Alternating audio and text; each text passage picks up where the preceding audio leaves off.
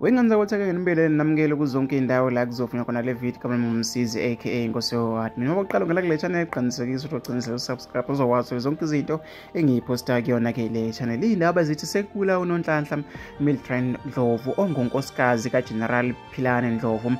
Obe umphathi wabaseshi okwakumele azofakaza ecaleni likameya wavele wagula washona engakafakazi. Manje-ke sekudujula umkakhe ephuma nje emolo wey'ngane zakwethu. Ayi abantu-ke babeka imibono ehlukahlukene. Nangomunye uthi-ke noma-ke bacabanga khona-ke amtshela khona umyeni wakhe okungabeka-ke icala engcupheni yokungabi-ke ngale ndlela elihlelwe ngayo. Eyi cha-ke ngathi-ke sizofa sonke. Nangomunye uthi-ke uthini ubheka icele njengoba-ke eqhafunza kangaka esukela awuzimdola akuboshwe-ke abantu phela. Wey'ngane zakwethu ziyindaba-ke ethanda ukuthi-ke zibe nzima kakhulu. Ezifisa ukuthi ngizuvo lwakho nombono wakho ukuthi wena ucabangale-ke ngalolu daba. Hlangana lapha kwi-comment section ungakhohlwa ugciniza subscribe uzokwazi zonke izinto engiyiphostayo kuyona-ke channel.